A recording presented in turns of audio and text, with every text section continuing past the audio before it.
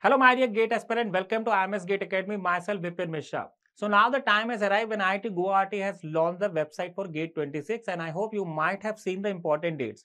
So you will be able to fill the GATE exam form in between 25th of August 2025 to 25th of September 2025 and your exam will be held on February 26. The dates for exams are 7th and 8th of Feb and 14th and 15th of Feb.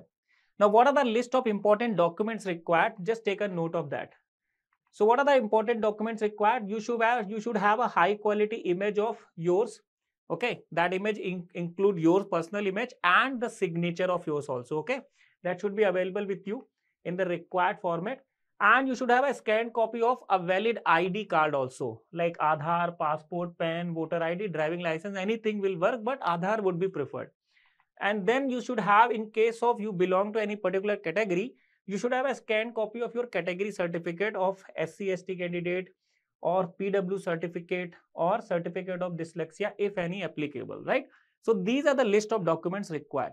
Now while filling the form, you should have this information ready with you, your personal information, right? Name, date of birth, personal mobile number, parents name, parents mobile number. You should have your address of communication ready with the PIN code, right? Eligibility degree details should be there with you your college, your passing year, right? Everything. And gate paper code, which is very important. For example, if you are going to appear from electrical engineering, the paper code will be double E. That paper code list is given in the website, you can check, right? Then three choices of examination city in which you will be comfortable. So whatever IIT zone you belong to, you should have prepare uh, the list of examination city, three examination city where you will prefer to go and give the exam at the end the payment details right? So whatever mode you want to do the payment net banking credit card debit card or upi so these are the important information that you will be filling and these are the list of documents that you need correct? So i hope you have taken a note of this information. While filling the form this information will help you correct?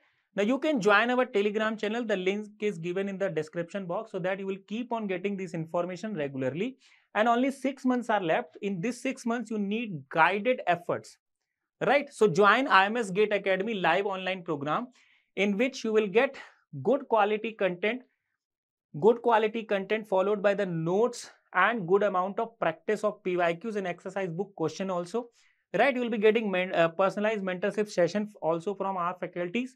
You will be getting question bank, gate question bank through which you can practice PYQs and you know the importance of PYQ right now they are going to play a vital role in your preparation. So you can book a free counseling session by calling on this number and just see so many students have written their success story with us.